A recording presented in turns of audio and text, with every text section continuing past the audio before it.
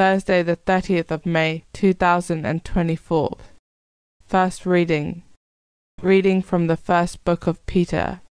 You are newborn, and, like babies, you should be hungry for nothing but milk, the spiritual honesty which will help you to grow up to salvation, now that you have tasted the goodness of the Lord.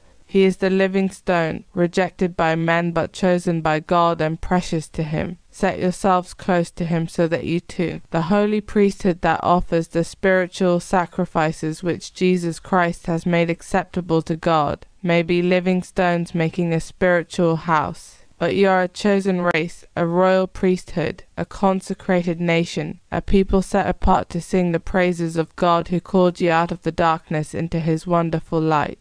Once you were not a people at all, and now you are the people of God. Once you were outside the mercy, and now you have been given mercy. I urge you, my dear people, while you are visitors and pilgrims, to keep yourselves free from the selfish passions that attack the soul. Always behave honorably among pagans so that they can see your good works for themselves, and, when the day of reckoning comes, give thanks to God for the things which now make them denounce you as criminals responsorial psalm. Come before the Lord, singing for joy. Serve the Lord with gladness. Come before him, singing for joy. Come before the Lord, singing for joy. Know that he, the Lord, is God. He made us, we belong to him. We are his people, the sheep of his flock. Come before the Lord, singing for joy. Go within his gates, giving thanks. Enter his courts with songs of praise. Give thanks to him and bless his name.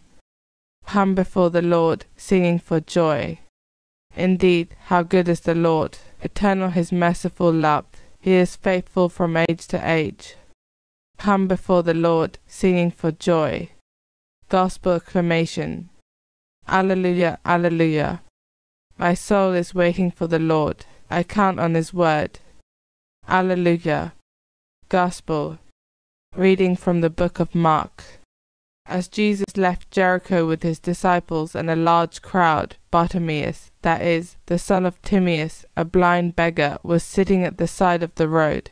When he heard that it was Jesus of Nazareth, he began to shout and to say, Son of David, Jesus, have pity on me. And many of them scolded him and told him to keep quiet. But he only shouted all the louder, Son of David, have pity on me. Jesus stopped and said, Call him here. So they called the blind man. Courage, they said, get up, he is calling you. So throwing off his cloak, he jumped up and went to Jesus. Then Jesus spoke, What do you want me to do for you? Rabboni, the blind man said to him, Master, let me see again. Jesus said to him, Go, your faith has saved you. And immediately his sight returned, and he followed him along the road.